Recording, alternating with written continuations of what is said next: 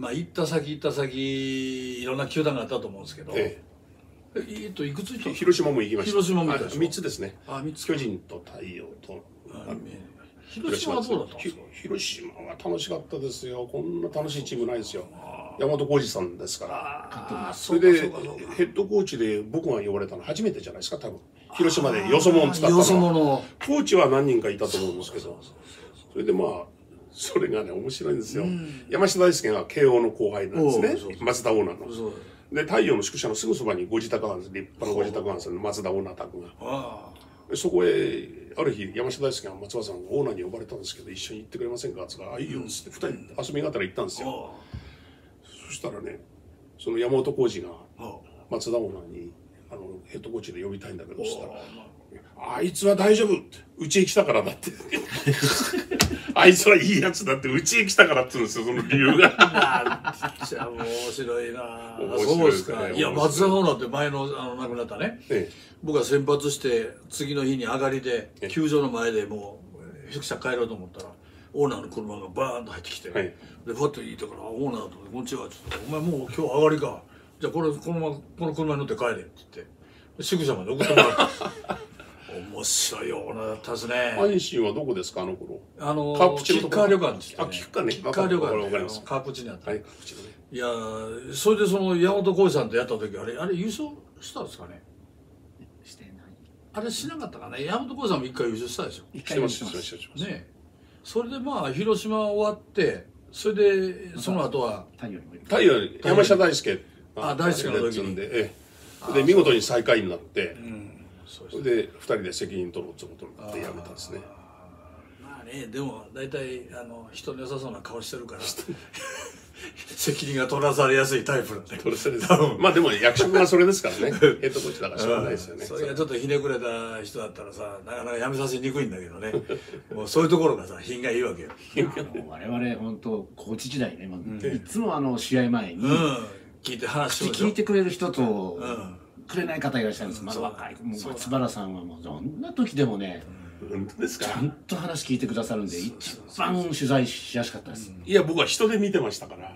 そうですか。ある種ねやっぱり新聞記者でも一生懸命やってる人にはね協力してあげたいっていう分かるじゃないですか。はいはいはい。遊び半分の人っているじゃないですか昔だから。特にいたんですよでも一生懸命やってる人に必ず答えるように自分ではしてる。まあでも選手会のこととかねあやったり、まあ、選手会ね。全体のことを考えたりね、まあ随分いろんな苦労されましたね。選手会はね随分いろんな人にやめろやめろって言われたんですけどねもうね乗りかかったまあで船だし、もねあれからああいう歴史があるから今日、ね、今はねもうそれができてるんですからね。うんだからいろんな意味でね松原さんがね野球界に貢献してる大先輩だ。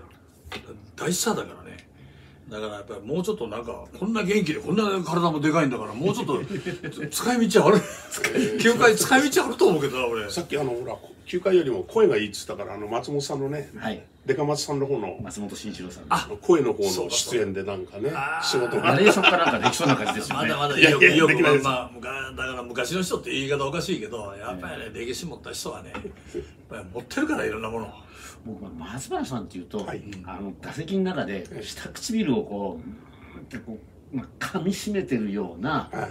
そのイメージ。重苦しい雰囲気あったでしょ？えあのなんていうんですかあれはもうずっとだったんですか？えっとね相手を殺してやるって思ってましたからね。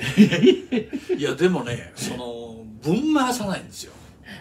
もうこうやってクーッとあのステップもほとんどしなかったでしょ。あ小さかった。どっちかやったらね。ね。こうやって待ってて来たやつをカーンって打つんですよ。あのねピッチャーはねそこそこ嫌だったと思うんですけど僕はあのいろんなタイプに合う合わないタイプが少なかったんですよ、うん。なるほで広島に宮本さんっていうのがいて早稲田から。江尻さんと同じはい早稲田のエースだったんですね。もうちっちゃいんですよ。あの人だけ合わないんですよ。どああ後ろの爆心がない人、ね、後ろがちっちゃい人がああなるほどなるほど。他は大体あの人なんかたまにしか出てこないし、王さんが平岡っていうのがダメでね、ああそうそうピ左のちっちゃくて腕が短くて。お大きなって言われてね。大きなですよさんはね。いやいや俺はキラーじゃないけど俺はほら逃げ回ってたから王さんと対戦する。王さんの時にはどんな感じで対戦するんですか？いやどうやって？もうねタイミング外す以外何者もないと思う、うん。もう自分の球じゃ抑えられないなと思そうですね。うはい。でもほらどこで？やっぱりあの足足膝あ上げるじゃないですか足を。あのタイミングさえ崩せば意外とあれっていう。であなたの方も足をなんかうん崩すんですか？回上げたり。早くやったり止めたり。うん止めたり。あそうでしょうね。それでボールは真ん中に投げるんですよ。いいやみたいな意外と打ちにくいでしょ真ん中に投げられると。いや、ま、あのね、こう、バッターボックスだって読むじゃないですか。アウトコースのまっすぐ、うん。インコースからシュート、ん。ね、真ん中ちょっと向こうからスライダーとか、うん。イメージしてね。真ん中はイメージしないんですよ、バッターって。確かにそうだからね、意外と真ん中に来るとね、あったのに、まあ、真ん中ばっかりじゃいやいやそれは打たれないはずはないんですけど。エイクソンみたいなええ、あの、ある時は打てないですね。真ん中に来るとドキッとしちゃうんですね。いやそれはまあ大選手いろいろいたけど松原さん、まあ、最後にそのあれですけど参考になる人いたんですか？バッターで。まあ、まあ、例えばだ誰かにこういいアイデアアドバイス受けたとか。いや、僕は王さんによく、あの王さん。話を聞きに行ったりしてたんですね。うん。で守備は吉田さん？阪神の吉田さん？吉野さん。うまかったわね。であの頃ね僕はね勇気いるんですよ。阪神のもうスタープレイヤーですから近づくのがもう僕は若造だからしうん勇気です。からあうんる時甲子園行った時そば寄っててうんすみません。守備落ちてサードでもう下手くそだったから。であのね松原君ね太陽の連中はみんな下手くそなんだよ。だから参考にならないけどあれだけど一つその理由を教えてあげるけどうん。手がね体に近すぎるんだと。太陽の選手は。なるほど。でこれを低くするためには腰も低くしなくちゃいけないわけですよ。ほどほんとこう前が出てくわけですよ。そこからこうやるからイレギュラー取れるんだと。なるほで、次の動作もできるんだどと。なるほどみんな近すぎると太陽が。あそれから僕はもう毎日壁にぶつけて前からこう取るね。練習を引いてくる練習をね。何度もしたの覚えてないですけど。あねまあ俗にグラブさばきですよね。いやー歴史上あんなうまい人いなかったでしょ。いや僕ね阪神に入った時ね、はい。たまたま試合前にあの藤田平とねはい。よっさんがよっさんがまだ元気だった、ええ。僕の時監督がうんうん。練習してたんですよ。もうはるかによっさんの方がうまかったですそうでしょはい、藤田もうまいんですよね。うまいですよ柔らかいしねめっちゃうまいややつなんだけどね。よっさんには勝てないと思って。それぐらいは天才的な。もうねちょっと類を見ないですねあの取ってからの速さ取ってからの見えないんですよね、取って投げるその瞬間が、こういう感じなんですよね。早いんですよ。でバッティングも最初ヘボだったんですけど最後の方になんか一回3割打ったことあるんじゃないですかね。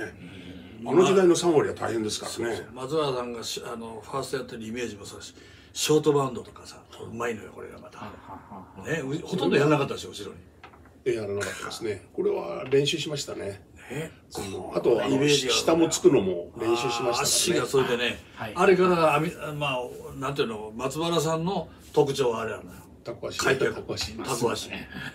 で でもあれでね伸びました股関節があでもね何も練習やらないでやったもんだから23回やった日はもう腰が重くてあね次の日はねあうちの女房は俺の腰をもみに来たようなもんで俺が帰るとこうやって寝るんですよ。ほんとこう横に踏んでくんですよ。ちょうど重さがいいんですよ。でほぐしてもらうんですよ。30分ぐらい。ーいやでもそそそそういうね数々のねやっぱりそういう松原さんのそのあれがあるわけよ。功績が、うん、だから俺はもうちょっとねだからいいそういうのをもうちょっとアピールしてもいいかなと思うんだけど。ベイスターズどうなんですか？今選手会とかあんなんでそういうイベントだとかなんかあります？あ僕はもう会長も辞めましたしああ。全部もう引きましたからああ。迷宮会も引いたしもう全部引きましたから。あそうか。平松がちょこちょこね。引きますけどねちょこちょこ。ちょこチョコっていうニックネームなんですよねあれ。ちょちょろ松って言ったんあチョロ松？えー昔はあのちょちょろっていうのはあの広さんのこと言ったんだけどねあそうそうそうそう。う。んあとはもうだから守備は吉田さん、うん。でバッティングは王さんああやっぱりそのに二人でね尋ねましたね王さん王さんに聞きに行ったんですか？やっぱバッティングええあのいろいろ顔の置き方をどうするかとか。うん。でもね勉強なんですよ。あの王さんはね顔はどうなんつって聞いたら、顔はどうやって向けるんですか？っつったら声帯だっつうんですよ。こうやって王さんをうんそうそうこうやって顎乗っけるわけです声帯ですよ、でい長池なんかもそうなんですね。長池なんか声帯させるんですこうやって、こなんでかっつうとね後で分かったんですけど効き目がね後ろの目なんですよ後ろの目の人はこうやこうやって構えられないんですよ。なるほど。こうやらないと目が左目ですから、反効き目が。それはもうだからコーチの時も随分勉強になりました。それ一つだけでもね。こう声帯って声帯待てよ。そしたら全然おかしいんですよ自分でやると、うんなるほど。こうやらないとダメなんですよ。なるほ松村さんじゃああの効き目は？右目です。あ違う左目です。左目。じゃあじゃあピッチャー側に近い方がいいわけですよ。王さんも左なんですけど左バッターだから後ろになっちゃうわけですよ。はだからバッティング見てるとね大体わかりますよ。えー阪神に後々日本ハムから行った片岡なんているんですよ、うんあれなんかもう完全ねなるほど。あのこっちの目ですよ。あと中畑。バッティング見ると分かるのはその2人、僕はね顕著なの